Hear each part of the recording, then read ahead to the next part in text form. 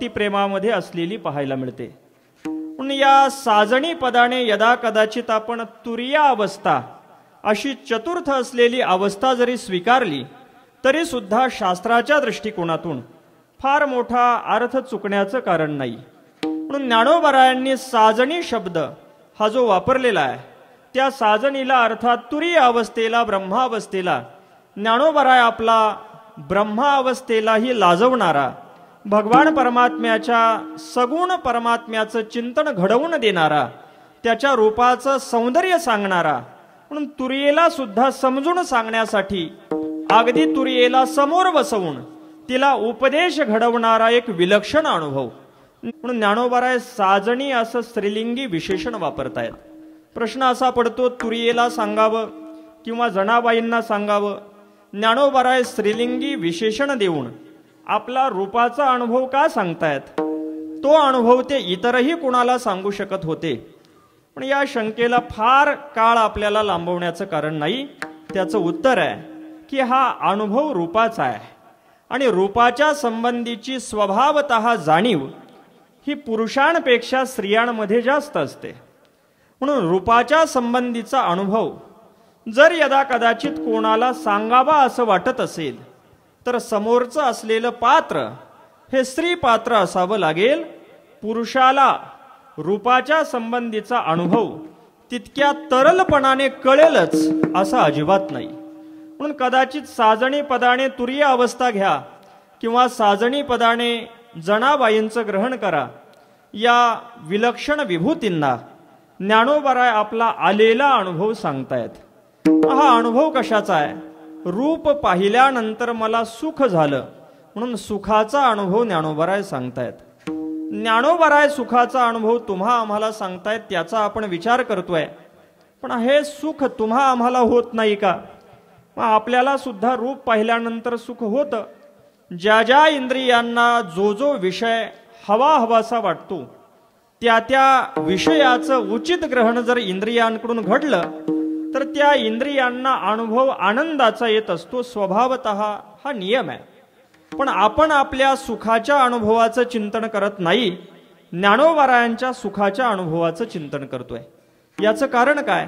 याचं कारण आहे की आपल्याला आलेला सुखाचा अनुभव हा फार काळ टिकणारा नसतो. तो जसा एका बाजूने यावा तसा दुसऱ्या बाजूने मावळणारा आहे.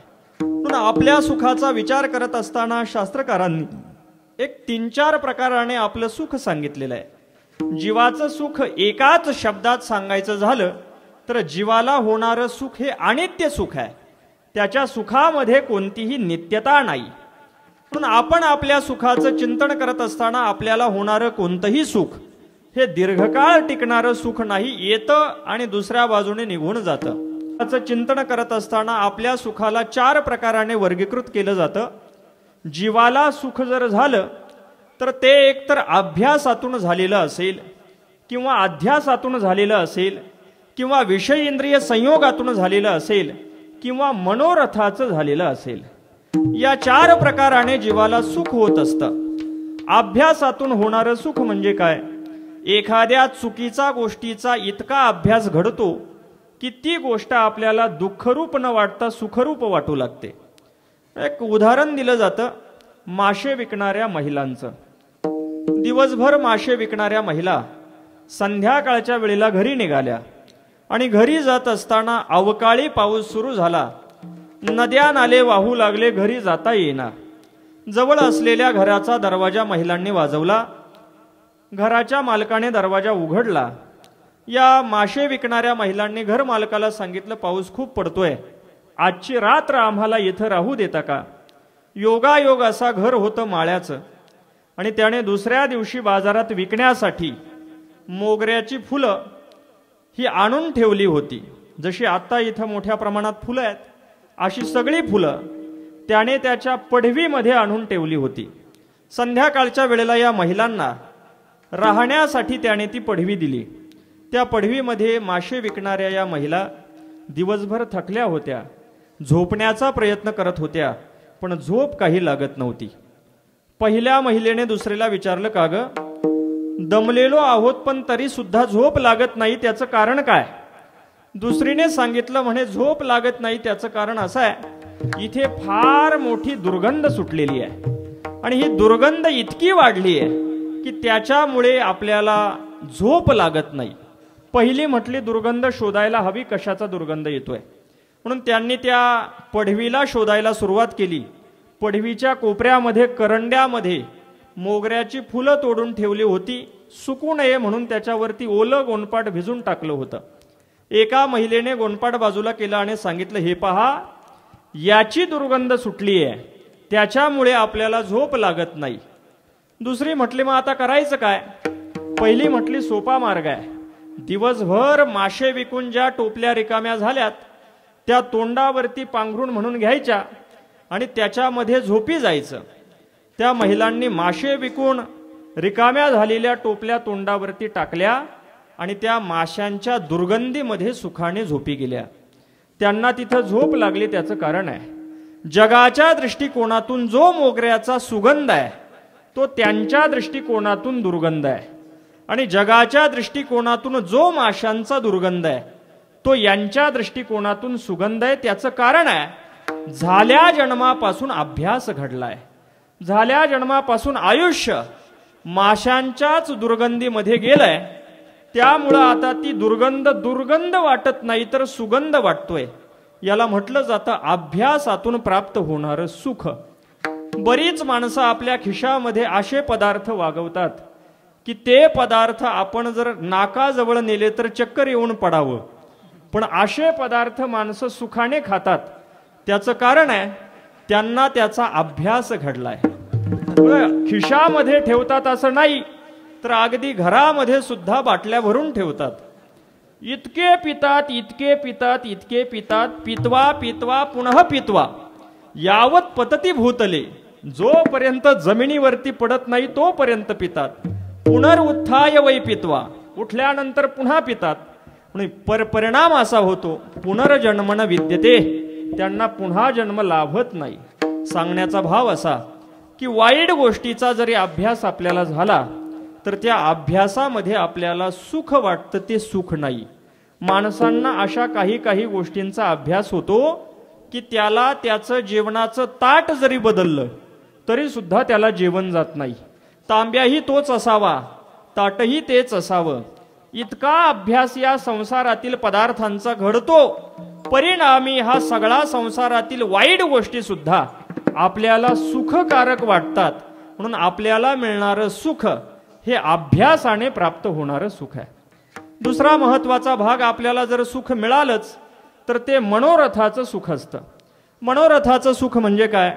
बसल्या जाग्यावरती फक्त कल्पना करायची की उद्या असं असं होणार आहे आणि या कल्पनेमध्ये सुखाचा आभास भोगत राहायचं याला मनोरथाचं सुख म्हणतात. जवळपास जीव हे नव्वद टक्के सुख मनोरथाचं भोगत असतो. रथाच्या सुखावरती तो त्याची वाटचाल करत असतो. एक अत्यंत आळशी मनुष्य रस्त्याने जात असताना त्याने रस्त्याच्या बाजूला पाहिलं तर एक काचेचं मनोरथ करणारा काचेचं भांड त्याला दिसलं. ते काचेचं भांड त्याने उचललं विचार केला हे भांड थोडंसं मूल्यवान दिसतंय. याला जर बाजारामध्ये विकलं तर काही पैसे येतील. म्हणून ते भांड घेऊन घरी गेला. स्वभावत आळशी असल्यामुळं गेल्या गेल्या झोपला.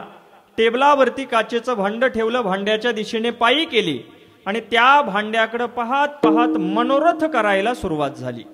पण त्याचं मनोरथ इतकं सुंदर सुरू झालं की हे भांड जर आपण बाजारामध्ये विकलं तर त्याच्यापासून काही पैसे येतील. या पैशांचे आपण अंडी विकत घेऊ. त्या अंड्यांना उबवल्यानंतर त्याच्या कोंबड्या होतील. त्या कोंबड्या वाढल्या की पुन्हा त्या विकू त्याच्या शेळ्या घेऊ. शेळ्या वाढल्यानंतर त्या विकू त्याच्यानंतर गायी घेऊ. आणि गायी घेतल्यानंतर गायीचं दूध काढू. आणि दूध काढल्यानंतर ते दूध बाजारामध्ये विकण्यासाठी घेऊन जाऊ. पण बाजारात जात असताना तसं जायचं नाही त्याच्यासाठी एक मोटरसायकल घेऊ.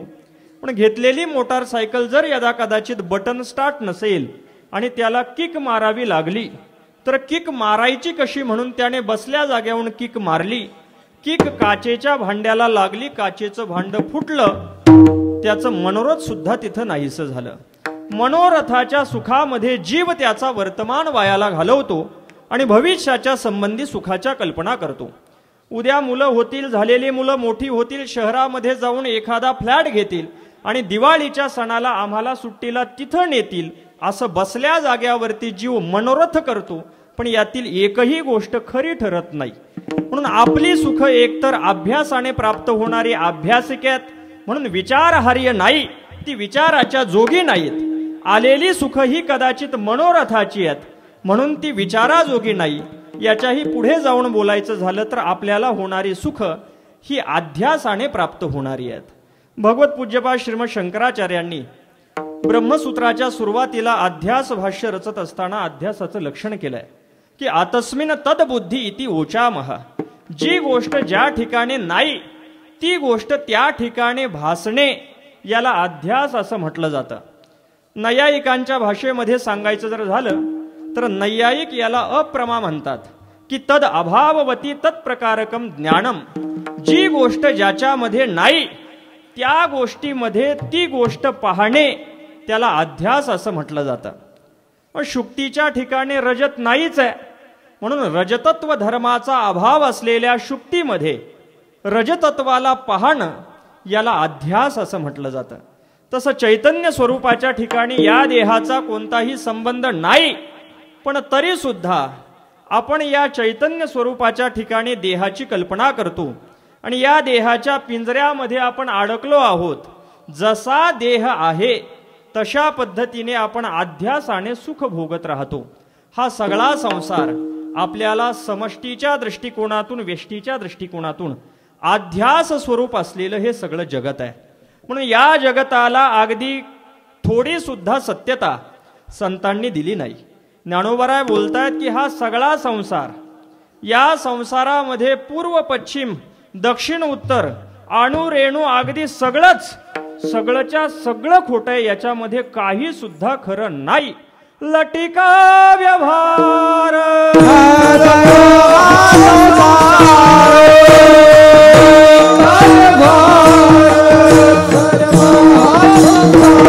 हा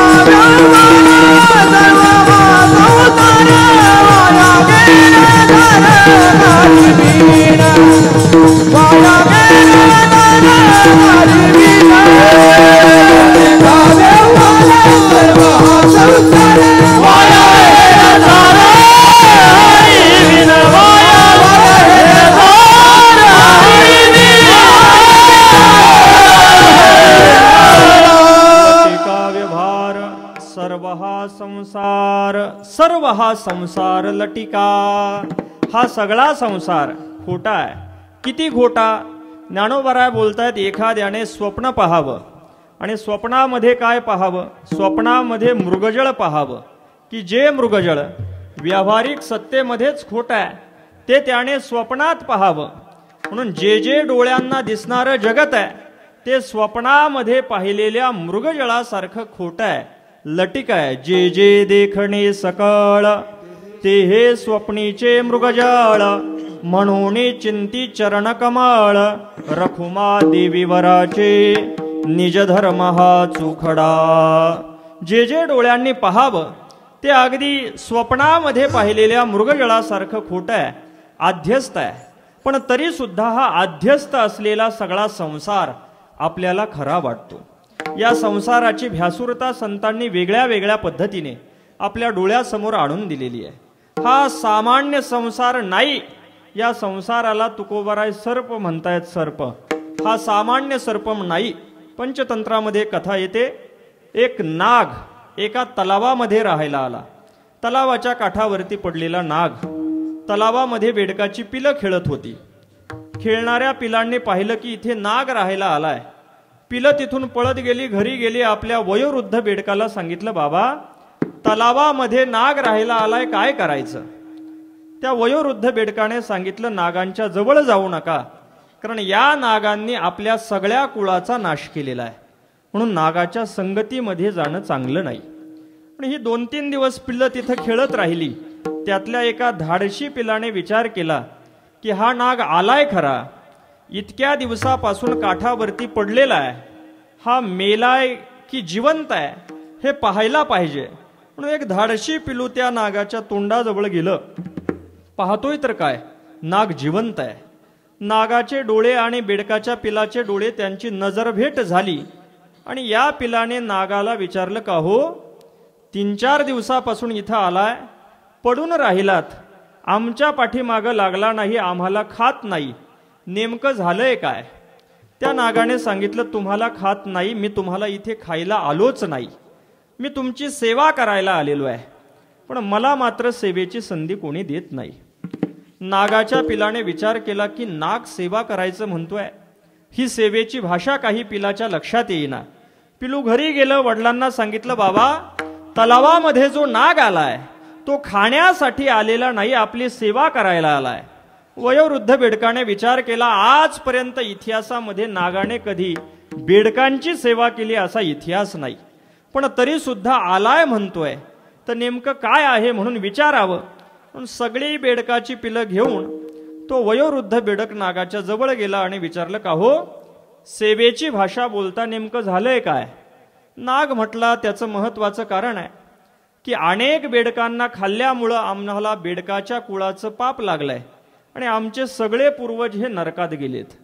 त्यांना तिथून उद्धरावं त्यांना तिथून मोकळं करावं. याच्यासाठी उपाय म्हणून आम्हाला बेडकाच्या कुळांची सेवा सांगितलेली आहे. म्हणून आमच्या ज्या लुप्तपिंडोदक क्रिया झाल्यात त्या जाग्या व्हाव्यात त्यांचा उद्धार घडावा. याच्यासाठी मला बेडकांच्या पिलांची बेडकांची सेवा करायला सांगितले त्याच्यासाठी मी आलो आहे मी पूर्वी कसा होतो तो माझा इतिहास पाहू नका. हात जोडून नाग विनंती करतो एवढ्या वेळेला का होईना सेवेची संधी द्या. सेवेची संधी मागण्याचा काळ जवळ येतोय.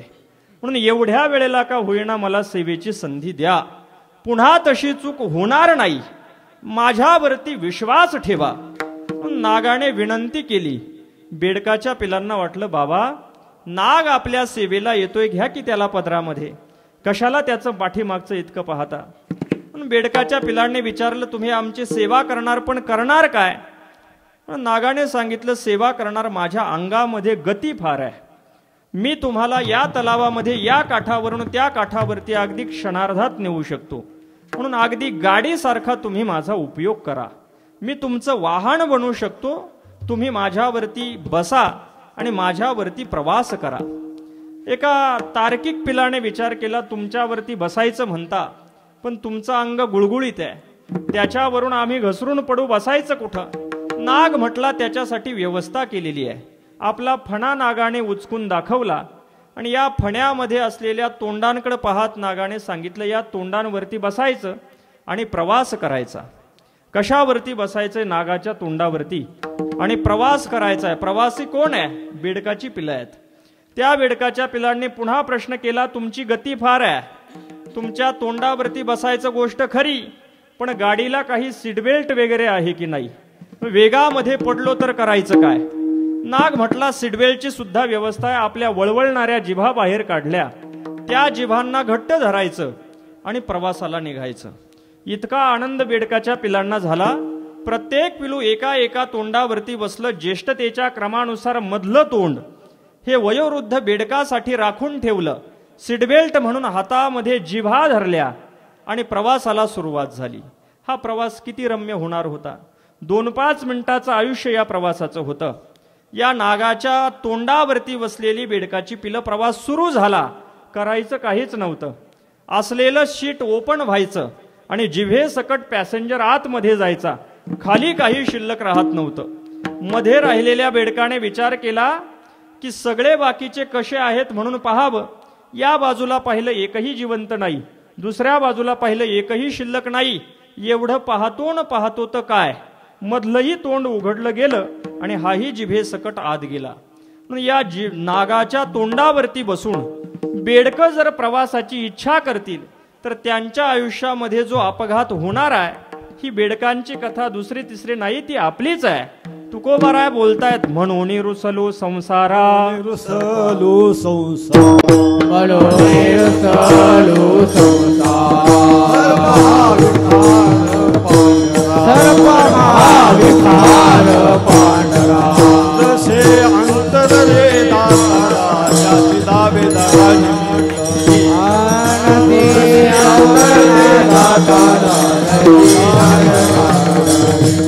म्हणून रुसलो अंतर म्हणून रुसलो संसारा सर्प हा विखार पांढरा. तुकोबाराय बोलतायत हा सामान्य सर्प नाही हा विषारी सर्प आहे विखार आहे. आणि हा आपल्याला खाऊन टाकतोय पण तरी सुद्धा आपण त्याच्याच संगतीमध्ये आहोत कारण या संसाराचा आपल्याला झालेला अध्यास आहे. म्हणून हा सगळा भ्यासूर संसार जो एक दिवस आपल्याला जाळणार आहे पण तरी सुद्धा आपण त्याच्याच संगतीमध्ये आहोत त्याचं कारण आहे अध्यास तितका मजबूत आहे. म्हणून आपल्याला होणारा आनंद हा अध्यासाचा आहे. आणि सरते शेवटी शेवटचा आनंद जर विचारामध्ये घ्याल तर विषय इंद्रिय संयोगापासून प्राप्त होणारा वैषयिक आनंद हा आपल्याला प्राप्त होतोय. पण मुळातच हे सगळे आनंद या आनंदाची कोणतीही योजना या सगळ्या सुखांना आपण सुख म्हणू शकत नाही तो सुखाचा आभास आहे. म्हणून तुमच्या आमच्या सुखाची चर्चा केली जात नाही तर ज्ञानोबारायांच्या सुखाची चर्चा केली जाते त्याचं कारण आहे की ज्ञानोबारायांना मिळालेलं सुख हे परिपूर्ण सुख आहे. या सुखाचा संबंध ज्ञानोबाराय शेवटी बोलतायत सर्व सुखाचं आगर म्हणून. या सुखाची व्याप्ती ज्ञानोबारायांनी शेवटी लक्षामध्ये आणून दिलेली आहे.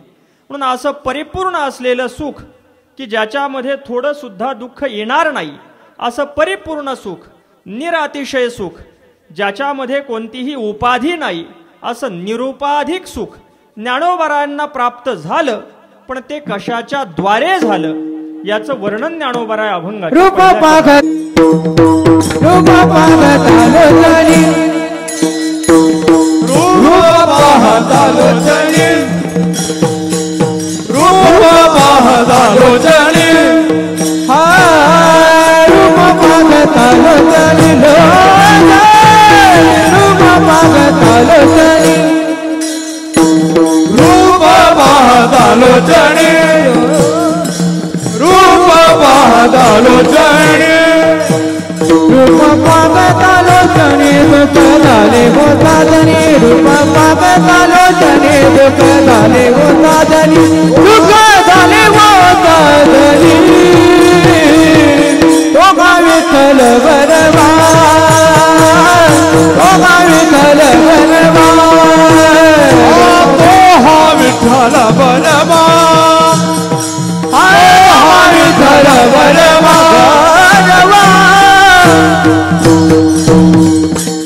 रूप पाहता लोचने सुख झाले वो साजनी ज्ञानोबराय बोलतात.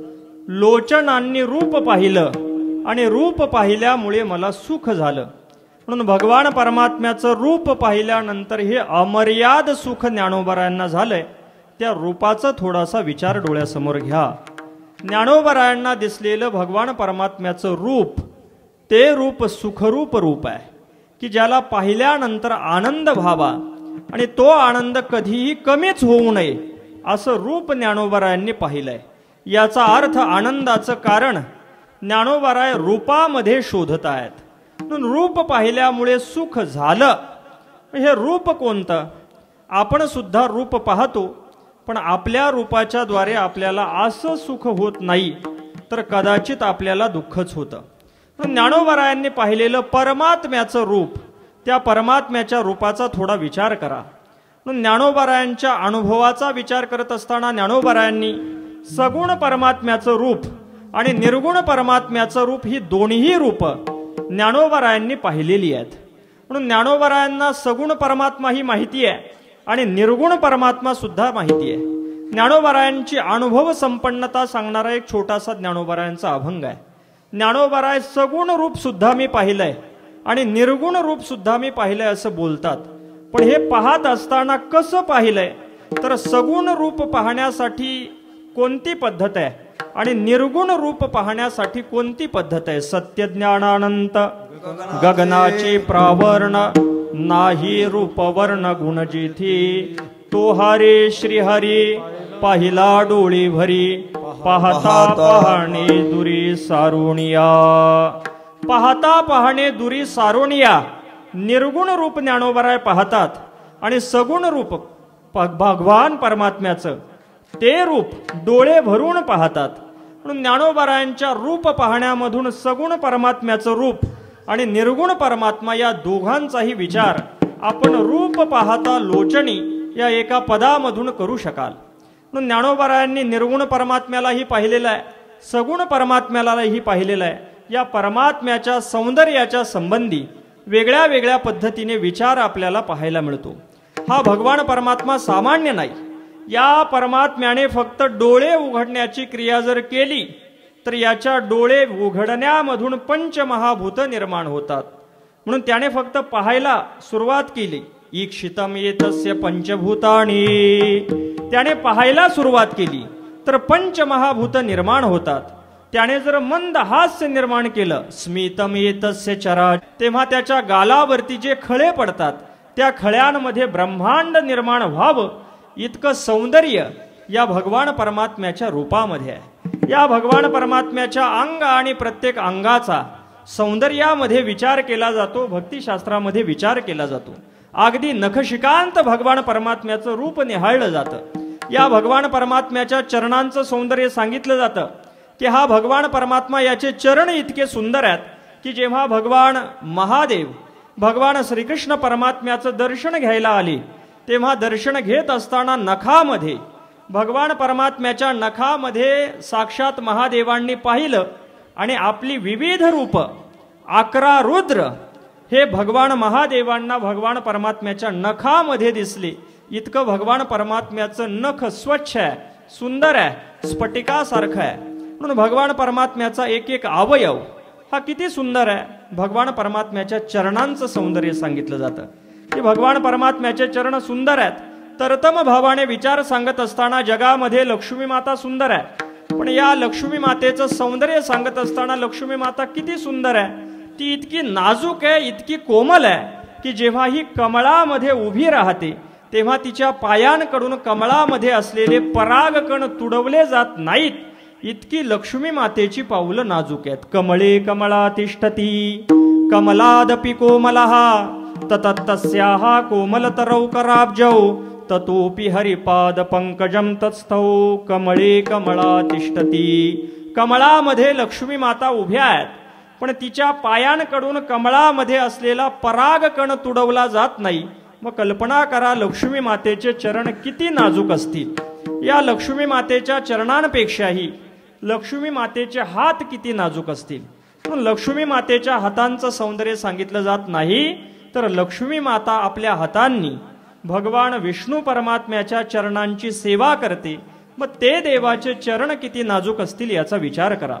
देवाच्या चरणांची सेवा लक्ष्मी माता साक्षात हाताने दाबून करते असं नाही. तर हातामधून कोवळा चंद्राचा प्रकाश बाहेर पडतो आणि त्या चंद्र किरणांच्या द्वारे लक्ष्मी माता भगवान परमात्म्याच्या चरणांची सेवा करते. इतके भगवान परमात्म्याचे चरण नाजूक आहेत.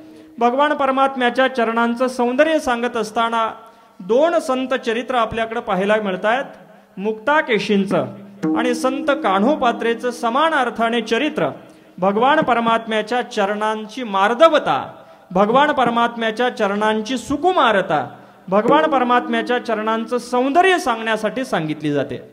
मुक्ताकेशी भगवान परमात्म्याची निस्सिम भक्त आहे. भगवान परमात्म्याच्या दर्शनाला जात नसत. बाकीच्या सख्या म्हटल्या का गं? तू दर्शनाला का जात नाही? मुक्ताकेशी म्हणू लागल्या तुमचा देव दगडाचा आणि मी इतकी नाजूक आहे. जर यदा कदाचित मी त्याच्या दर्शनाला आले त्याच्या पायावरती डोकं टेकवलं आणि त्याच्या दगडाच्या पायांनी माझ्या डोक्याला काही इजा झाली तर करायचं काय? त्यामुळं मी दर्शनाला येणार नाही. बाकीच्या सख्या म्हटल्या नको त्याच्या पायावरती डोकं टेकू. फक्त त्याला डोळ्याने पहा तर. म्हणून मुक्ताकेशींना आग्रह झाला आणि मुक्ताकेशी भगवान पांडुरंगाचं रूप पाहण्यासाठी निघाल्या. भगवान परमात्म्याला कळलं मुक्ताकेशी येत आहेत देवाने इतका सुंदर विग्रह धारण केला की जेव्हा मुक्ताकेशी देवाच्या समोर उभ्या राहिल्या तेव्हा मुक्ताकेशींना प्रश्न असा पडला की हा देव इतका नाजूक आहे की याच्या पायांनी माझ्या डोक्याला काही इजा होण्यापेक्षा माझ्याच डोक्याने या परमात्म्याच्या पायाला काही इजा होईल. म्हणून अगदी हळुवारपणे आपलं बोट देवाच्या चरणांना स्पर्श करण्यासाठी नेलं ते चरण भगवान परमात्म्याच्या चरणांमध्ये मुक्ताकेशींचं बोट लोण्यामध्ये रुतावं तसं रुतलं गेलं इतके भगवान परमात्म्याचे चरण नाजूक आहेत. या भगवान परमात्म्याच्या एका एका अवयवाचं सौंदर्याचं वर्णन जर कराल तर त्याच्या सौंदर्यामध्ये सगळं सौंदर्य आगाध रूपाने आपण कितीही चिंतन करत राहिला तरी त्याचं सौंदर्य संपणार नाही. भगवान परमात्म्याच्या चरणांवरती वेगळी वेगळी सुचिन्ह ही वेगळ्या वेगळ्या रूपाने पाहायला मिळतात. देवाचे चरण सुंदर आहेत असं नाही तर या चरणावरती असलेली अनेक चिन्ह आहेत. की त्या चिन्हांचा विचार जर आपण करू लागलो तर आपल्याला आपल्या जीवनामध्ये अनेक लाभ प्राप्त होतात. म्हणून भगवान परमात्म्याच्या चरण चिन्हांचा विचार करत असताना भक्तिशास्त्रकारांनी कोणी कोणी चार चरण चिन्हांचा कोणी नऊ चरण चिन्हांचा कोणी सोळा चरण चिन्हांचा कोणी बत्तीस चरणचिन्हांचा कोणी चौसष्ट चरणचिन्हांचा विचार सांगितलेला आहे. की देवाच्या चरणावरती आपण इतरत्र पाहिलं असेल की देवाच्या पाऊलांवरती वेगळी वेगळी चित्र काढलेली पाहायला मिळतात. अर्थात ही सगळी चित्र म्हणजे रांगोळी नाहीत तर देवाने तुमच्या आमच्या उद्धारासाठी धारण केलेली ती सुचिन्ह आहेत की या चिन्हांचं ध्यान करत करत आपण आपली परमार्थाची वाटचाल करू शकू. म्हणून देवाच्या चरणावरती यवाचं चिन्ह आहे. देवाच्या चरणावरती स्वस्तिकाचं चिन्ह आहे. देवाच्या चरणावरती शंखाचं चिन्ह आहे. देवाच्या चरणावरती ध्वजाचं चिन्ह आहे. आकाशाचं चिन्ह आहे. चार कळश आहेत. स्वस्तिक आहे. यव आहे. त्रिकोण आहे. वेगळ्या वेगळ्या सुचिन्हांनी देवाचे चरण भरलेले आहेत. या एका एका चिन्हाचे वेगळे वेगळे लाभ आपल्याला भक्तिशास्त्रकारांनी सांगितलेले आहेत. निवांत एखाद्या ठिकाणी जाऊन बसावं. एखाद्या झाडाखाली बसून भगवान परमात्म्याचं रूप आठवावं. त्याचे चरण आठवावेत आणि त्याच्या चरणावरती असलेल्या सुचिन्हांवरती आपली चित्तवृत्ती एकाग्र करावी आणि भगवान परमात्म्याचं ध्यान करावं. म्हणून सगुण परमात्म्याचं ध्यान करत असताना देवाच्या चरणावरती सुचिन्ह आहेत. यवाचं चिन्ह देवाच्या चरणावरती आहे. अंगठ्याच्या दोन दुभाजक रेषेंच्या मध्ये हे यवाचं चिन्ह आहे. या यवाच्या चिन्हावरती आपण आपलं जर ध्यान कराल तर या यवाच्या चिन्हापासून नेमका कोणता लाभ होतो? यवोसी धान्य राजोवा म्हणून यव हा धान्यांचा राजा आहे. म्हणून यवाच्या चिन्हांचं जर आपण ध्यान कराल तर त्या उपासकाला त्या भक्ताला त्याच्या आयुष्यामध्ये अन्नधान्याची कमतरता पडत नाही. देवाच्या चरणावरती त्रिकोणाचं चिन्ह आहे. त्रिकोणाचं ध्यान आपण जर कराल तर तीन गुणाच्या पलीकडे आपण जाऊ शकू. देवाच्या चरणावरती चार कलश आहेत. धर्म अर्थ काम आणि मोक्ष हे चारही पुरुषार्थ साधून देण्यासाठी. भगवान परमात्म्याच्या चरणावरती असलेली ही सुचिन्ह आहेत देवाच्या चरणावरती प्रत्यंचान असलेला धनुष्य आहे. की धनुष्य त्याला दोरी नाही. काम आपला बाण त्या धनुष्यावरती लावू नये ते धनुष्यावरती चढलेले कामाचे बाण साधकाला टोचू नयेत. म्हणून प्रत्यंचा नसलेला धनुष्य हा देवाच्या चरणावरती आहे. देवाच्या चरणावरती शंखाचं चिन्ह आहे. या शंखाच्या चिन्हाचं ध्यान केल्यानंतर उत्तम वाणीचा लाभ त्या भक्ताला प्राप्त होतो. देवाच्या चरणावरती छत्राचं चिन्ह आहे. छत्राच्या चिन्हाचं ध्यान केल्यानंतर त्रिविध ताप. त्या साधकाला पोळत नाही. असे विविध लाभ देवाच्या चरणामध्ये आहे. म्हणून हे केवळ देवाच्या चरणामध्ये आहे असं नाही तर देवाचा पितांबर देवाची नाभी देवाचं वक्षस्थळ देवाचं मुखमंडल देवाचा किरीट अगदी पायापासून तर त्याच्या किरीटापर्यंत मुकुटापर्यंत सगळा परमात्मा इतका सुंदर आहे की त्याच्या एका एका चिन्हाचं एका एका अवयवाचं आपण जर ध्यान करू लागलो तर निश्चित रूपाने आपण त्याच्यामध्ये तदाकार होऊ. तिथे दृष्टी एकदा गेली की पुन्हा दृष्टी माघारी आपली येणार नाही. परतेची ना दृष्टी बैसली ते ठाई. एकदा दृष्टी भगवान परमात्म्याच्या रूपामध्ये गेली की पुन्हा दृष्टी माघारी फिरत नाही. इतका परमात्मा सुंदर आहे ज्ञानोबरा बोलतायत असा परमात्मा मी पाहिला त्याचा परिणाम असा झाला मला सुख झालं. प्रश्न असा पडतो ज्ञानोबराय परमात्म्याला तुम्ही डोळ्याने भरून पाहिल्यामुळे तुम्हाला सुख झालं पण हा परमात्मा नेमका कोणता? त्याचा परिचय आम्हाला करून द्या. ज्ञानोबाराय त्या परमात्म्याचा शब्दानिशी परिचय अभंगाच्या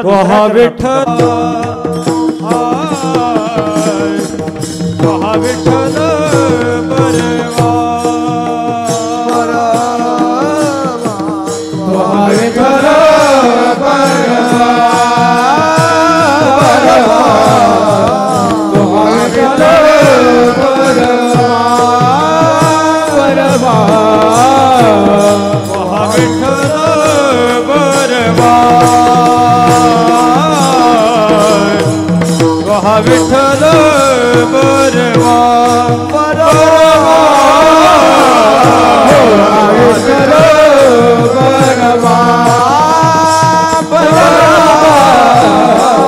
विठ्ठल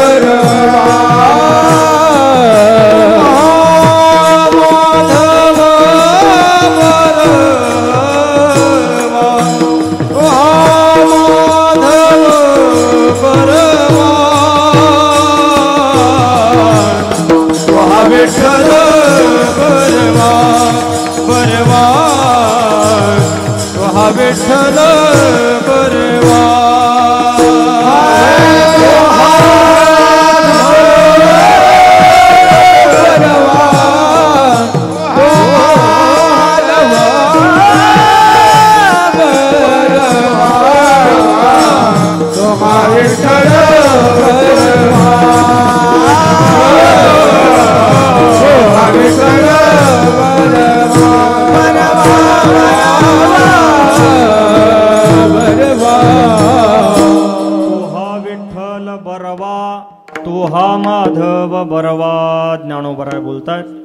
जो भगवान परमात्मा मी पाहिला ज्याच्यामुळे मला सुख झालं तो हा तो हा विठ्ठल बरवा तो हा माधव बरवा.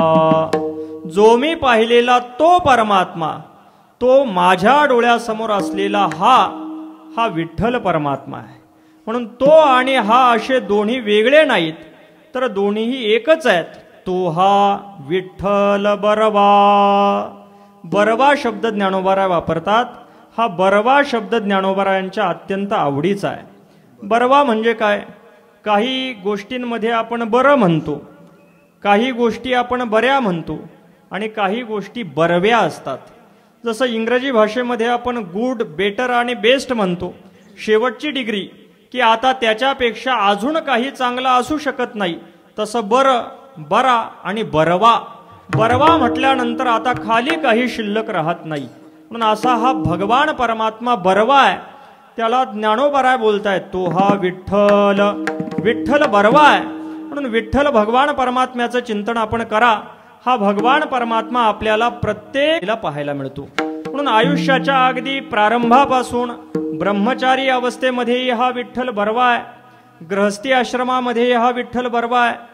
वानप्रस्थी आश्रमामध्ये हा विठ्ठल बरवा आहे आणि संन्यास आश्रमामध्ये सुद्धा हा विठ्ठल बरवा आहे म्हणून हा विठ्ठल शब्द आपण चारही आश्रमांमध्ये बरवा आहे असा शब्द व्युत्पत्तीच्या दृष्टिकोनातून जर आपण विचारात घ्याल तर चार धातूंपासून या शब्दाची उत्पत्ती दाखवून देता येणं शक्य आहे. म्हणून विद विचारणे या धातूपासून जर विठ्ठल शब्द आपण सिद्ध कराल तर ब्रह्मचर्य अवस्थेमध्ये विद ज्ञाने ज्ञानाची आवश्यकता आहे. म्हणून ज्ञान स्वरूप असलेला विठ्ठल परमात्मा हा ब्रह्मचर्य जीवनामध्येही बरवाच आहे. गृहस्थी आश्रमामध्ये आपल्याला धनाची अपेक्षा आहे. कराल तर विद्रू लाभे शब्दापासून धातूपासून हा शब्द जर निर्माण केला तर गृहस्थी आश्रमामध्ये सुद्धा हा विठ्ठल शब्द आपल्यासाठी बरवा आहे. वानप्रस्थी आश्रमामध्ये आपल्याला विचाराची आवश्यकता आहे. म्हणून विद विचारणे धातूपासून विठ्ठल शब्द आपण जर घ्याल तर वानप्रस्थ आश्रमामध्येही हा बरवाच आहे.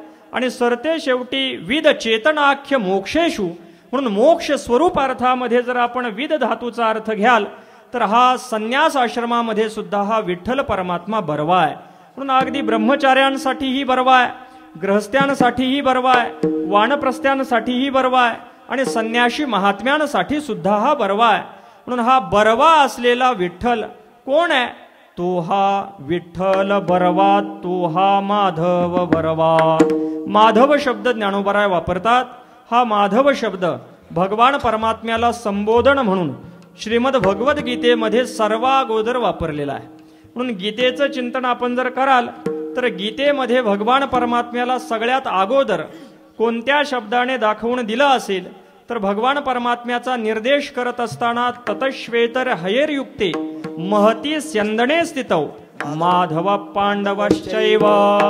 दिव्यौ शंखौ प्रधमतु ततः हयही श्वेतही युक्ते शुभ्र घोड्यांनी युक्त असलेल्या स्यंदनावरती स्थित असलेला माधव आणि पांडव। म्हणून माधव शब्द श्रीमद भगवद्गीतेमध्ये सर्वागोदर भगवान परमात्म्यासाठी वापरला जातो।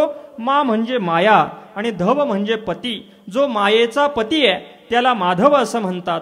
जो माया ताब्यात ठेवतो त्याला माधव असं म्हणतात। म्हणून हा माधव वेगळा आहे। विठ्ठल वेगळा आहे असं नाही. तर जो माधव आहे तोच विठ्ठल आहे. आणि जो विठ्ठल आहे तोच माधव आहे. म्हणून तो दोन्ही एकच आहे. तो हा विठ्ठल बरवा तो हा माधव बरवा असा भगवान परमात्मा. मी पाहिलेला आहे. प्रश्न असा पडतो ज्ञानोबराय हा भगवान परमात्मा तुम्ही पाहावा. म्हणून या भगवान परमात्म्याचं दर्शन तुम्हाला घडावं. त्याच्या संबंधीची आवड तुमच्यामध्ये निर्माण व्हावी. असं नेमकं तुम्ही केलं काय? ज्ञानोबराय तो परमात्मा मिळण्यासाठी लागणाऱ्या साधनाचा सूत्रपात अभंगाच्या तिसऱ्या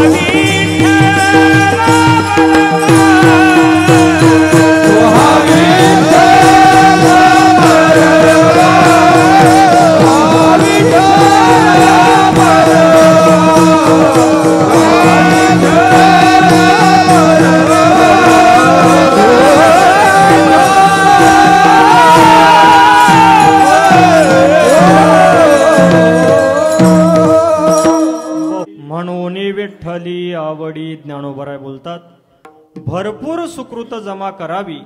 आणि या भरपूर सुकृतांच्या मुळे मला भगवान परमात्म्याची आवड निर्माण झाली. बहुता सुकृतांची जोडी. भरपूर सुकृत आपण जमा करावी. या सुकृत्यांमुळे चांगल्या कर्मामुळे आपली बुद्धी शुद्ध होते आणि चांगली बुद्धी झाली की ती परमात्म्याचं ग्रहण करू लागते. तिला परमात्मा आवडतो. बाकीच्या नश्वर अनित्य गोष्टी आवडत नाहीत. म्हणून परमात्मा आपल्याला आवडावा असं वाटत असेल देवाबद्दल आपली प्रीती राहावी असं वाटत असेल तर आपल्याला सुकृत करावी लागतील चांगली कर्म करावी लागतील. म्हणून भगवान परमात्म्याला प्राप्त करण्यासाठी सुकृत्य ही ज्ञानोबराय सांगतायत चांगल्या कर्माच्या द्वारे भगवान परमात्म्याची आपल्याला आवड निर्माण होते. म्हणून भगवान परमात्म्यासाठी सुकृत्य करावी चांगली कर्म करावी. अंबरीश राजाचं चरित्र सांगितलं जातं. की अंबरीश राजा भगवान परमात्म्याची सेवा करायचे. पण मंदिरामध्ये जायचे मंदिराचा परिसर झाडून काढायचे सगळं मंदिर धुवून काढायचे झाडून घ्यायचे भगवान परमात्म्याला अभिषेक घालायचे. न राजाची जी राणी होती त्या राणीला या गोष्टी आवडत नव्हत्या. राणी गेली अंबरीश राजाला म्हटली महाराज हे आपण काय करतायत? तुमच्यासारख्याने झाडून काढणं हे शोभा देणारं नाही. तुम्ही फार तर देवाला अभिषेक घालण्यासाठी येत जा पण देवाच्या मंदिरामध्ये झाडून काढणं परिसर स्वच्छ करणं याच्यासाठी इतर नोकर चाकर आहेत हे तुम्हाला करण्याची आवश्यकता नाही. अंबरीश राजाने राणीला सांगितलं ठीक आहे उद्यापासून मी झाडून वगैरे काढणार नाही. दुसरा दिवस उजाडला पण स्वभावानुसार राजा पुन्हा मंदिरामध्ये झाडून काढण्यासाठी गेला. राणीने लांबून पाहिलं राणी राजाच्या जवळ गेली. राजाला म्हटली महाराज मी कालच तुम्हाला सांगितलं होतं की तुम्ही झाडूला हात लावायचा नाही. राजाला राहावलं नाही. राजाने राणीला बाजूला घेतलं आणि बाजूला घेऊन सांगितलं त्याचं एक महत्वाचं कारण मी तुझ्या लक्षात आणून देतो. मला भगवान परमात्म्याच्या कोणत्याही क्रियेमध्ये इतका आनंद येतोय की भगवान परमात्म्याला सोडून दुसरी कोणतीही गोष्ट मला आवडत नाही. हे सगळं जे काही प्राप्त झालंय ते त्याच्या आशीर्वादाने प्राप्त झालेलं आहे. म्हणून राणीला लक्षात आणून देण्यासाठी राजाने एक गोष्ट सांगितली. राजा राणीला सांगतोय घडलं असं की एका मंदिरावरती एक म्हातारा काळ कावळा राहत होता. कावळा इतका वृद्ध झाला होता की बाकीचे कावळे त्याला जगून देत नव्हते. कावळ्यांच्या समूहामध्ये एक स्वभाव आहे. जर एखादा कावळा संकटामध्ये सापडला जर तो विकलांग झाला जर त्याच्यामध्ये ताकद राहिली नाही तर बाकीचे कावळे त्याला चोचा मारून मारून टाकतात. त्याला जिवंत ठेवत नाही. अर्थात हे फक्त कावळ्यांमध्येच आहे असं नाही. हा स्वभाव धर्म इतरही पाहायला मिळतो. पण हा कावळ्याचा मनुष्य धर्म कावळ्यांनी त्याला पाहिलं आणि पाहिल्यानंतर जोर जोराने चोच्या मारायला सुरुवात केली. एका कावळीनीची चोच त्या कावळ्याच्या पंखामध्ये इतकी घट्ट रुतली की कावळ्याच्या पंखामधून घळघळ रक्त वाहू लागलं. कावळ्या त्या कावळीनी सकट मंदिराच्या कळसावरून खाली पडला. खाली पडल्यानंतर ज्या ठिकाणी पडला तो प्रदक्षिणेचा रस्ता होता. आणि त्या कावळीनीपासून आपली सुटका व्हावी म्हणून तो कावळा फरफटत फरफटत पुढे सरतोय. पण कावळीनीची चोच मात्र पंखामधून निघत नाही.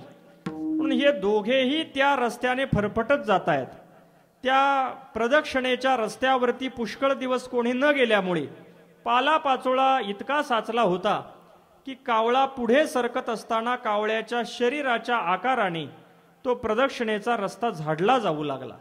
हे कोण सांगताय? अंबरीश राजा राणीला सांगतोय. म्हणून हे सगळं झाडल्यानंतर एक प्रदक्षिणा पूर्ण झाली आणि परिणाम असा झाला की मंदिराचा थोडासा परिसर स्वच्छ करण्याचं सुकृत्य त्या कावळ्याकडून नकळत घडलं. त्याचा परिणाम म्हणून तो कावळा पुढच्या जन्मामध्ये मी झालो. आणि माझ्याबरोबर चोच गुंतलेली तू तुलाही प्रदक्षिणा घडली. तू या जन्मामध्ये राणी झाली. म्हणून भगवान परमात्म्याच्या संबंधी केलेली सुकृत्य ही आपल्याला वेगळ्या वेगळ्या स्वरूपाची फळं देतात. म्हणून आपण जर सुकृत्य केली तर सुकृत्य आपल्याला भगवान परमात्म्याची प्राप्ती करून देतात. य येशो ब्राह्मणा विविधिशंती यज्ञेन। ब्राह्मण पुरुष त्याला यज्ञाने जाणण्यासाठी प्रयत्न करतात। म्हणून यज्ञेन म्हणण्यामध्ये तिथे क्रिया आहे तिथे प्रयोजन आहे प्रयत्न आहे। म्हणून यज्ञाच्या द्वारे त्याला जाणण्याची इच्छा करतात आणि हा यज्ञ म्हणजे कर्म आहे। कर्म म्हणजे क्रिया आहे। आता हा कर्मयोग कसा? आपण भगवान परमात्म्याला विचारा। भगवान परमात्मा सांगतील जर आपल्याला कर्म करायचं असेल तर कर्मांनी एव अधिकार असते. तुझा कर्मामध्ये अधिकार आहे पण वेड्या वाकड्या पद्धतीने कर्म करू नको योगस्थ कुरु कर्माणी. तू योगामध्ये स्थित हो आणि त्याच्यानंतर कर्म कर. मग योगस्थ होणं म्हणजे काय? त्याला समत्व योगाचा उपदेश भगवान परमात्म्याने दिला. सिद्धी आणि असिद्धीला समान मानून समत्व योगामध्ये तू स्वतः उभा राहा. आणि अशा पद्धतीने कर्म कर ज्याला सोप्या भाषेमध्ये निष्काम कर्म कर असं म्हटलं जातं. म्हणून जर आपण निष्काम कर्म करू लागलो तया सर्वात्मका ईश्वरा स्वकर्म कुसुमांची विरा पूजा केली हो या पारा तुषा लागी आपल्या या निष्काम कर्माच्या द्वारे तो भगवान परमात्मा संतुष्ट होईल आणि आपलं अंतकरण शुद्ध होईल. एकदा का चित्त निर्मळ झालं की त्या चित्तामध्ये भगवान परमात्मा घर करून राहील म्हणून आपण भरपूर सुकृत करावी. त्या सुकृतांच्या द्वारे न जाणो भगवान परमात्मा आपल्याला शोधत आल्याशिवाय राहत नाही. कल्पना करा एखाद्या ठिकाणी आपण पैसे जमा करतो उतार वयाला त्याचा उपयोग होईल म्हणून. पण संचित नावाचं कर्म नावाची अशी बँक आहे की जिच्यामध्ये आपण केलेली कर्म अशा पद्धतीने जमा होतात की आपण विसरून जरी गेलो तरी सुद्धा ती कर्म आपल्याला फळं देण्यासाठी येत राहतात. जर आपल्या आयुष्यामध्ये कोणताही प्रयत्न न करता आलेलं संकट जर स्वभावत गेलं कितीही मोठी अडचण येऊ पण ती अडचण जर गेली तर समजून चला की आपल्या आयुष्यात कुठंतरी आपण पाठीमागे सुकृत्य केलं होतं आणि त्या कर्मामुळे आपल्या आयुष्यामध्ये येणारं संकट टळलं. म्हणून जेव्हा कार्यकारण भावाने उत्तर लाभत नाहीत कार्यकारण भावाची संगती मिळत नाही तेव्हा आपण आपण अनेक सुकृत्य केली आहेत त्या सुकृत्याच्या द्वारे आपलं चित्त जसं नदीने पात्र बदलावं तसं माणसाचं जीवन बदलतं त्याला सुकृत्य कारणीभूत आहे महापुरुषांचा इतिहास साक्षी आहे ज्या परंपरेमध्ये आपण चिंतन करत आहात स्वानंद सुखनिवासी सद्गुरू जोग महाराजांच्या जीवनचरित्रामध्ये कथाभाग सांगितला जातो. वारकरी शिक्षण संस्थेची स्थापना करण्याचा आग्रह ज्या महापुरुषांनी स्वानंद सुखनिवासी सद्गुरू जोग महाराजांना धरला त्यामध्ये एक होते मारुती व गुरव आणि दुसरे होते मारुती व ठोंबरे. मारुती व ठोंबऱ्यांचा इतिहास असा सांगितला जातो की स्वानंद सुखनिवासी सद्गुरू जोग महाराजांच्या दर्शनाला जात असत. जोग महाराजांच्या दर्शनाला गेले गेल्यानंतर त्यांना ओळखणारा एक गृहस्थ तिथे होता. मग दर्शन करून गेल्यानंतर त्याने सांगितलं महाराज हा जो आत्ता दर्शनाला आला होता हा कोण आहे तुम्हाला माहिती आहे का? जोग महाराज म्हटले असे अनेक माणसं दर्शनाला येतात आणि निघून जातात. तो कोण आहे मला माहीत नाही. स्वानंद सुखनिवासी सद्गुरू जोग महाराजांना त्या माणसाने सांगितलं महाराज हा जुन्नरचा राहणारा आहे. नाही खायचं ते खातोय नाही प्यायचं ते पितोय. चरित्राने इतका खराब मनुष्य आहे पण तो तुमच्या दर्शनाला येतोय. जोग महाराज म्हटले तो जर इतका वाईट आहे आणि हे जर तुला माहिती आहे तर मग तू मला मघाशी का सांगितलं नाही? अजूनही तो गेला नसेल त्याला बोलावून आण. मारुती वा ठोंबऱ्यांना पाठीमागं बोलावून आणलं गेलं. परिणाम असा झाला स्वानंद सुखनिवासी सद्गुरू जोग महाराजांनी मारुती वा ठोंबऱ्यांना बोलायला सुरुवात केली. महापुरुष बोलत असताना त्यांचं तप सामर्थ्य त्यांच्या शब्दाच्या पाठीमागे उभं असतं. म्हणून सद्गुरू जोग महाराज बोलत असताना मारुती वा ठोंबऱ्यांना म्हटले इतकी वाईट कर्म करता आणि आमच्यासारख्याच्या दर्शनाला येता आत्ताच्या आत्ता इथून निघा. इंद्रायणीवरती सचेल स्नान करा. मारुती व ठोंबरे तिथून निघाले. इंद्रायणीवरती येऊन कपड्यांसकट स्नान केलं. परिणाम असा झाला नदीने पात्र बदलावं. तशी अंतकरणाची वृत्ती बदलली गेली. पण इंद्रायणीतून बाहेर आले अंगावरची सगळी कपडे टाकून दिली. एक छोटीशी लंगोटी लावली. त्याच्यानंतर पुन्हा कधीच घरी गेले नाही आणि सगळं जीवन वारकरी संप्रदायाच्या सेवेसाठी खर्ची घातलं. ज्या महापुरुषांच्या निमित्ताने आपण या ठिकाणी सगळे उपस्थित आहात ते प्रातस्मरणीय स्वानंद सुखनिवासी कृष्णाजी महाराज यांचंही जीवनचरित्र अशाच पद्धतीने पाहायला मिळत आहे की दोन हाताने पाहिजे तशा पद्धतीने चित्र रेखाटणारा एक विलक्षण चित्रकार स्वानंद सुखनिवासी गुरुवर्य मामासाहेबांच्या सहवासामध्ये जातो. मामासाहेबांचे नियम होते की जर एखाद्याला वाचता येत नसेल तर मामासाहेब त्याला दोन तीन नियम सांगायचे. गळ्यामध्ये माळ नसेल तर थुंका सुद्धा गिळायचा नाही. आळंदीची पंढरपूरची वारी चुकवायची नाही आणि नियमित हरिपाठ घ्यायचा. म्हणून हा हरिपाठाची संहिता ही मामासाहेबांकडून प्रत्येकाला दिली गेली. म्हणून चित्र काढणारा एक विलक्षण चित्रकार मामासाहेबांच्या समोर येऊन बसला. परिणाम असा झाला परिसाचा स्पर्श व्हावा. तसा मामासाहेबांचा स्पर्श घडला आणि ज्या हाताने भौतिक चित्र काढायची होती ती भौतिक चित्र काढणं बंद झालं. आणि प्रत्येकाच्या मनामनामध्ये या भागातील प्रत्येक आस्तिकाच्या मनामध्ये ज्ञानोबरायांच्या हरिपाठाची चित्र काढण्याची विलक्षण किमया ज्या महापुरुषाने केली त्यांच्या बहुत सुकृताचं हे फळ आहे.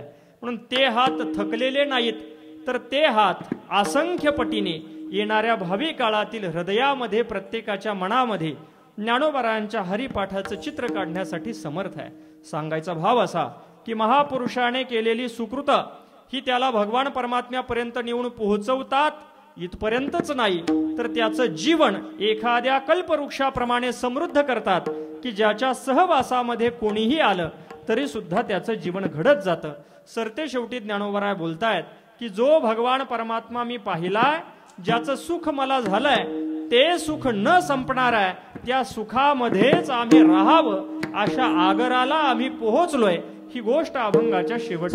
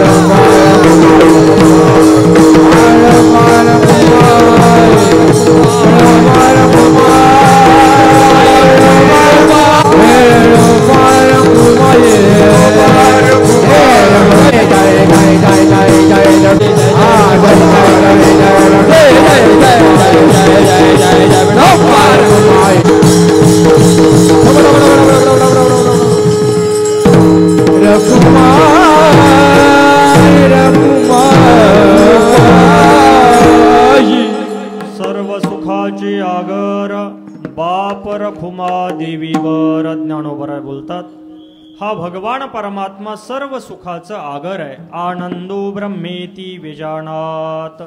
सगळा आनंद हा भगवान परमात्म्याचा आनंद आहे. म्हणून तो आनंद कंद आहे तो सुखरूप आहे सुखाचं आगर आहे. आणि असा सुखाचं आगर असलेल्या भगवान परमात्म्याच्या ठिकाणी आम्ही रममाण झालो. म्हणून बाप रखुमा देवीवर.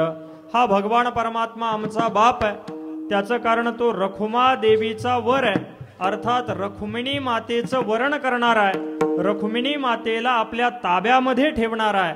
म्हणून बाप रखुमा देवी वर बाप रखुमा देवी वरा असा भगवान परमात्मा. ज्ञानोबाराय सरते शेवटी अभंगाच्या शेवटी बाप रखुमा देवीवर म्हणतायत रुक्मिणी मातेचं स्मरण करतायत. ज्ञानोबारायांच्या ब्रिदावळीमध्ये बाप रखुमा देवीवर हा अत्यंत आवडीचा शब्द आहे. म्हणून या बाप रखुमा देवीवराचे भिन्न भिन्न त्या त्या अभंगाच्या संबंधीचे वेगळे वेगळे विचार हे पाहायला मिळतात. या अभंगाच्या शेवटी बाप रखुमा देवीवर म्हणण्याचं कारण असं आहे थोडक्यामध्ये सांगायचं जर झालं तर रुक्मिणी माता या भगवान परमात्म्याच्या ज्या भक्त आहेत त्या रूप गुणजन्य भक्तीच्या द्वारे भगवान परमात्मा हा रुक्मिणी मातेने मिळवलेला आहे. पण केवळ ब्राह्मणाच्या पत्राच्या वाचनाने केवळ भगवान परमात्म्याच्या रूपाचं वर्णन ऐकून रुक्मिणी मातेला देवाबद्दल प्रीती निर्माण झाली. म्हणून रूपाच्या संबंधी आपलं जीवन समर्पित करणाऱ्या रुक्मिणी माता ह्या देवाच्या बाबतीमध्ये देवाच्या रूपावरती निरअतिशय प्रेम करणाऱ्या असल्यामुळं रुक्मिणी मातेच्या रूपाने ज्ञानोबरायांनी अभंगाच्या शेवटी या रूपगुणजन्य भक्तीची अधिष्ठात्री देवता म्हणून असलेल्या रुक्मिणी मातेचा निर्देश ज्ञानोबराय अभंगाच्या शेवटी करतात. म्हणून रुक्मिणी मातेने जशी देवाच्या रूपावरती रूपाचं चिंतन करत भक्ती केली तसं आपण सुद्धा देवाच्या रूपाचं चिंतन करत भक्ती करावी. म्हणून या रूपाच्या अभंगामध्ये उपक्रम आणि उपसंहार हा रूप शब्दावरून रुक्मिणी मातेच्या रूपगुणजन्य भक्तीवरून रूप शब्द आणि रुक्मिणी माता यांच्यामध्ये असलेला एकीपणा एकभूतपणा या अभंगामध्ये आपल्याला पाहायला मिळतो. म्हणून असा हा रूपाचा अभंग आपण आपल्या सामान्य शब्दामध्ये तोडक्या मोडक्या पद्धतीने आपल्यासमोर मांडण्याचा व्यक्त प्रयत्न केला. अर्थात हा अभंग रूपाचा आहे. आणि या रूपाच्या अभंगावरती आपण बोलणं म्हणजे या रूपवान अभंगाला बिघडवणं आहे. म्हणून कदाचित आपल्या बोलण्याने अभंगाचं सौंदर्य बिघडलं असेल पण बिघडत असलेल्या सौंदर्यामध्ये आपण सौंदर्य वाढवू शकत नाही आपली वाणी. हे फार तर या वाङ्मयाला किंबहुना या अभंगाला थोडंसं काळं लावणारी आहे. पण हे काळं व्यंग या अर्थाने नसून या भगवान परमात्म्याला किंवा या अभंगाला कुणाची नजर लागू नये या अर्थाचं ते काळं ठरावं अशी एक प्रार्थना आपण भगवान परमात्म्याच्या दृष्टीने आपण करू. आणि झालेली सगळी सेवा या ठिकाणी समर्पित करत असताना एक सूचना आपल्या डोळ्यासमोर ठेवून वाणीला पूर्ण विराम देतो. आपण सर्व जाणकार मंडळी आहात. वारकरी संप्रदायामध्ये देहू क्षेत्रामध्ये जे कार्य घडतंय अर्थात प्रातस्मरणीय गुरुवर्य पांडुरंग महाराज घुले यांच्या अथक परिश्रमातून जगद्गुरु तुकोबारायांची वचनं ही दगडावरती कोरली गेली आणि विश्वस्तरावरचं गाथा मंदिर उभं राहिलं. पण तुकोबारायांची वचनं फक्त दगडावरती कोरणे इतकाच त्याचा हेतू मर्यादित नाही तर ती वचनं प्रत्येकाच्या हृदयावरती कोरता यावीत म्हणून गेल्या तीन वर्षांपासून संत श्री तुकोबाराय गुरुकुल या गुरुकुलाची स्थापना वारकरी शिक्षण संस्थेच्या शताब्दी महापर्वामध्ये करण्यात आली. स्वानंद सुखनिवासी सद्गुरू जोग महाराजांचा विचार पुढे सरावा यासाठी हे गुरुकुल निर्माण करण्यात आलं. संतांचं वाङ्मय एका जाग्यावरती अभ्यासता यावं त्याच्याबरोबर वैदिक वाङ्मयामध्ये प्रस्थानत्रयीचंही चिंतन घडावं म्हणून अगदी लघु सिद्धांत कौमुदीपासून ते ब्रह्मसूत्रापर्यंत आणि संत वाङ्मयामध्ये ज्ञानेश्वरी अमृतानुभव सर्व संतांचं वाङ्मय एका जाग्यावरती विद्यार्थ्यांना शिकवलं जातं. हे शिक्षण देत असताना विद्यार्थी वारकरी संप्रदायाच्या उपासनेची जी अंग आहे त्यामध्ये मृदंगाची विद्या असेल चालींचं ज्ञान असेल वारीचं ज्ञान असेल नित्यनेमाचं ज्ञान असेल संत चरित्राचं ज्ञान असेल हे सगळं शिक्षण विद्यार्थ्यांना एका जाग्यावरती दिलं जातं. हे शिक्षण घेत असताना शिक्षणाच्या मुख्य प्रवाहापासून विद्यार्थी वंचित राहू नये. म्हणून केंद्रीय विश्वविद्यालयामध्ये अर्थात राष्ट्रीय संस्कृत संस्थान त्यानंतर संपूर्णानंद संस्कृत विश्वविद्यालय वाराणसी या विश्वविद्यालयाशी गुरुकुलाला संलग्न करण्यात आलं. जेणेकरून तिथे राहणारा विद्यार्थी हा पाच वर्षामध्ये संस्कृत भाषेमध्ये स्वतःचं ग्रॅज्युएशन पूर्ण करेल. सात वर्षामध्ये तो त्याचं यम एचं शिक्षण पूर्ण करेल. येणाऱ्या काळामध्ये त्याला भाषेची अडचण पडू नये. म्हणून मराठी हिंदी इंग्रजी आणि संस्कृत या चार भाषांमधून विद्यार्थ्यांना शिक्षण दिलं जातं. हे फक्त शिक्षण दिलं जातं असं नाही तर त्याची व्यवस्था सुद्धा तशी केली जाते. म्हणून नाश्त्याची व्यवस्था जेवणाची व्यवस्था कपड्याची व्यवस्था ग्रंथाची व्यवस्था या प्रदीर्घ काळामध्ये विद्यार्थी जर आजारी पडला तर त्याच्या औषध उपचाराची व्यवस्था या सगळ्या सुविधा विद्यार्थ्यांना दिल्या जातात. म्हणून परिपूर्ण शिक्षण आहे आणि परिपूर्ण सुविधा आहे. कदाचित प्रश्न असा पडेल मग या सगळ्या शिक्षणासाठी विद्यार्थ्यांकडून किती पैसे घेतले जातात? तर आनंदाची गोष्ट ही आहे की या सगळ्या शिक्षणासाठी किंवा कोणत्याही व्यवस्थेसाठी विद्यार्थ्यांकडून एक रुपया सुद्धा घेतला जात नाही. हे सगळं शिक्षण गाथा मंदिराच्या वतीने मोफत रूपाने विद्यार्थ्यांना दिलं जातं. हेतू एकच आहे सरस्वतीच्या उपासकांची सेवा घडावी. जो तरुण वर्ग व्यसनाकडे दुराचाराकडे कुमार्गाकडे वाहतोय तो थांबावा. संतांच्या वाङ्मयाशी जोडला जावा आणि एक सुजाण समाजाची निर्मिती व्हावी. या हेतूने या सगळ्या गोष्टी केल्या जातात. पण गुरुकुलामध्ये प्रवेश घेत असताना काही नियम आहेत. वर्षाच्या मधी आधी विद्यार्थ्यांना प्रवेश दिला जात नाही. प्रत्येक अक्षय तृतीयेच्या दोन दिवस अगोदर पालकांनी विद्यार्थ्याला घेऊन तिथे यावं. आणत असलेला विद्यार्थी त्याने दहावीची परीक्षा दिलेली असावी किंवा त्याच्या पुढच्या वयोगटातील विद्यार्थी स्वीकारला जातो. दहा दिवसाचं शिबिर होतं. या शिबिरामध्ये शेवटी प्रवेश परीक्षा घेतली जाते. त्याच्यामध्ये तो उत्तीर्ण झाला. तर त्याला स्थायी रूपाने गुरुकुलामध्ये प्रवेश दिला जातो आणि त्याच्या शिक्षणाची त्याच्या राहण्याची सगळी व्यवस्था गाथा मंदिराच्या वतीने केली जाते. म्हणून ही सूचना आपण परिसरातील विद्यार्थ्यांपर्यंत पोहोचवा. न जाणो आपल्या सूचना देण्याने एखाद्याचं वाहवत जाणारं जीवन थांबेल संतांच्या वाङ्मयाशी जोडलं जाईल आणि सुजाण समाजाच्या निर्मितीमध्ये आपला सुद्धा हातभार लागेल. म्हणून ही सूचना आपण सर्वांपर्यंत पोहोचवा. पुन्हा एकदा सर्व परिसरातील भाविक भक्त वारकरी मंडळी आणि हरे हरिपाठाच्या उपासकांच्या चरणी ज्ञानोबरायांच्या या अभंगाच्या द्वारे घडलेली सगळी सेवा समर्पित करून या मंगल पर्वावरती ज्ञानोबरायांच्या या हरिपाठाचं चिंतन आपल्याला घडावं आणि ज्ञानोबरायांनी हरिपाठामध्ये भगवान परमात्म्याच्या प्राप्तीसाठी जी फळं सांगितलीत ती फळं आपल्याला मिळावीत अशी एक मनोमन प्रार्थना करून या ठिकाणी वाणीला पूर्णविराम देतो. इथे मंदिराच्या वतीने प्रकाशित होत असणारी कॅलेंडर दिनदर्शिका त्यानंतर डायरी होणा तुमचे केले धर्मकीर्तन हे सिद्धी गेले येथ माझे जिवरले पायी कपण ज्ञानेश्वर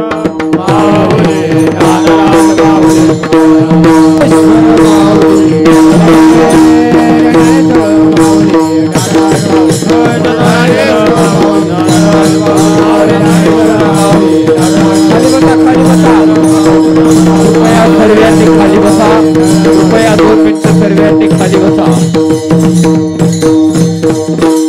ऐका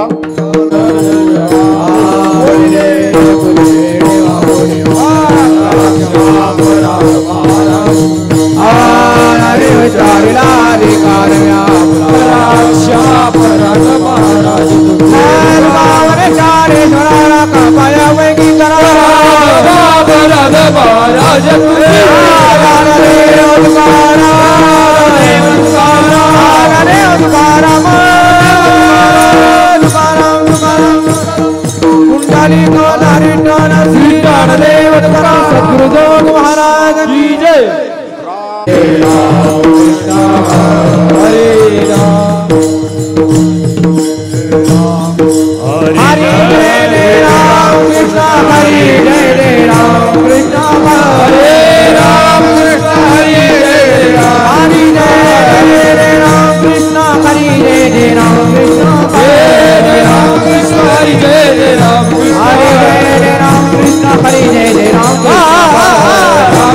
Hare Hare Hare Hare Hare Hare